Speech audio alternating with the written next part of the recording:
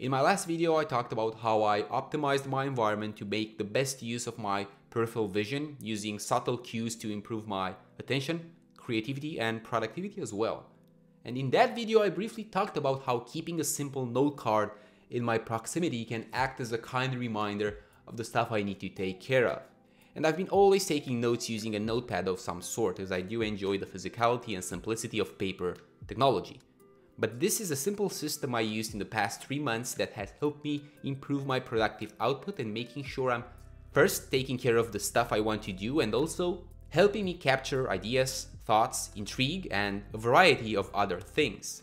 I'm using a small and cheap A7 memo pad, I believe you can pretty much buy this anywhere, and I do keep it on my desk.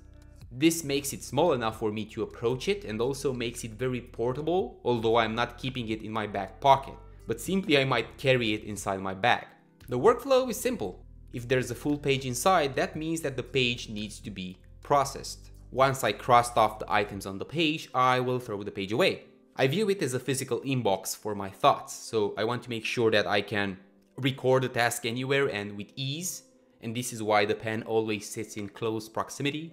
Also, I want to be able to deplete this task tank and make them go away. And I also want to be able to delegate, restructure, or delete bin tasks that I can't prioritize. So what I usually do is dedicate one page for a macro level view of the things I need to do. I outline this with bullets and tackle them one by one. Then what I can also do is use a separate page if an idea comes to my mind while say doing random things around the house and if I have more thoughts about it, I will dedicate a full page to that idea.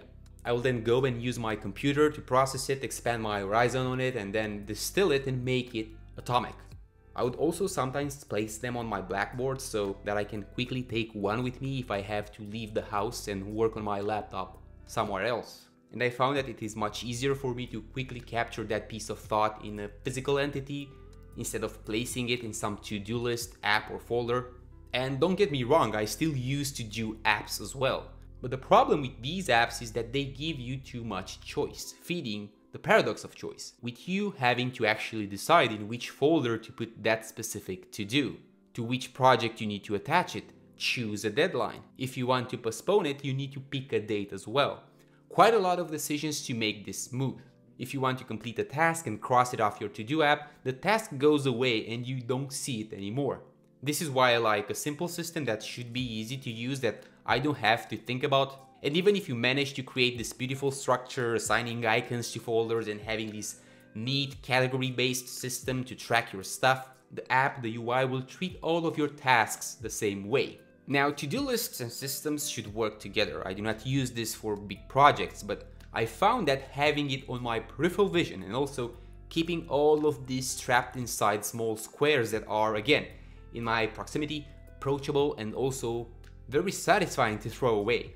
And I gotta say, there's something beautiful about finishing a bunch of to-dos, discarding a note and throwing it in the bin.